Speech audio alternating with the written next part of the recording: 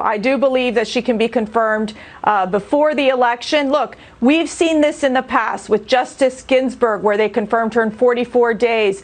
Justice Sandra Day O'Connor, 33 days she was confirmed. Justice Stevens, 19 days he was confirmed.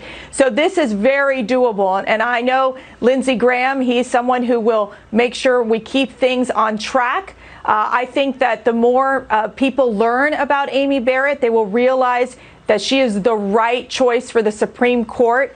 Uh, you, you, uh, you, look at, for example, the bipartisan group of law professors who have said that she is rigorous, fair minded, someone who uh, really understands the law, loves the Constitution. And as Amy herself has said, where she is focused on not prejudging cases, regardless of of personal uh, preferences or political pressure. It is about interpreting the law, not making the law. And I think that that explains what her judicial philosophy will be moving forward. But for the Democrats, I think they're completely stressed out because they're left with few options to stop this nomination.